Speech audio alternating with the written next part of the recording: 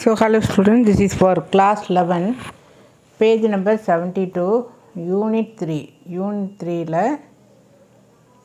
forgetting lessonல வரக்கூடியது form meaningful sentences using the given words to bring out at least two different meanings இந்த six words கொடுத்துருக்கு train tear wind light file then bear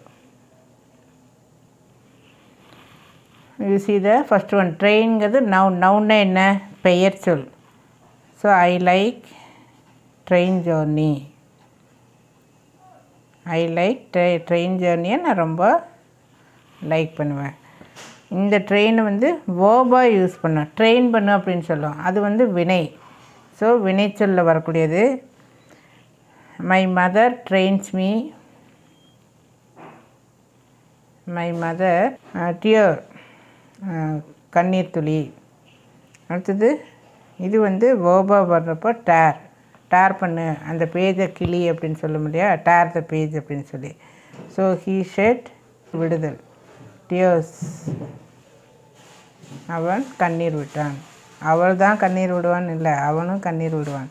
So he shed tears then tear I tear the page நான் அந்த பேஜை கிழித்தேன்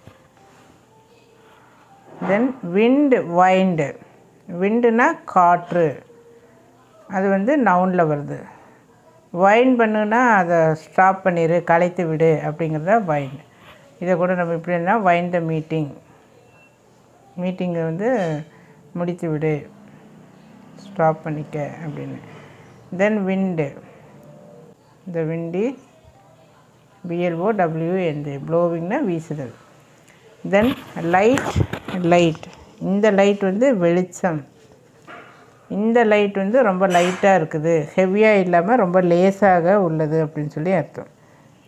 so it is a டா torch light இல்லாட்டி buy me a torch light get me a torch light get me a take light next இந்த file வந்து noun bring the file ஃபைலை கொண்டு வா. ப்ரிங் த ஃபைல் இந்த இடத்துல வந்து இது வேர்பில் வராது. அப்ஜெக்டிவில் வரும். பிகாஸ் அப்ஜெக்டிவ் வந்து இதை மாடிஃபை பண்ணுது. மீல் அப்படிங்கிறத மாடிஃபை பண்ணு. அளவாக சாப்பிட்ருக்க அப்படின்னு சொல்லி வர்றது. ஸோ இது வந்து டேக் லைட் மீன் இது வந்து அட்ஜெக்டிவில் வருது. இல்லாட்டி நீ வேறு மாதிரி கூட எழுதிக்கலாம் ஃபைல் த பேப்பர்ஸ் அந்த பேப்பர்லாம் எடுத்து கட்டு. ஃபைல் பண்ணி எல்லாமே ஒன்று சேர்த்து கட்டு. File the papers then bear I saw a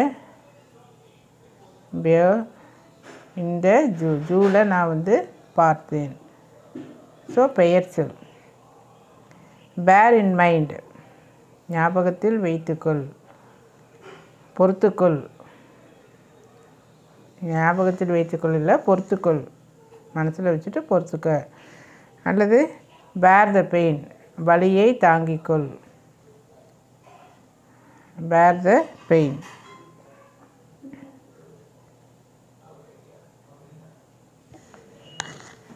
thank you. If you like this video you please share it to your friends and subscribe to the channel gomati maths and english. Thank you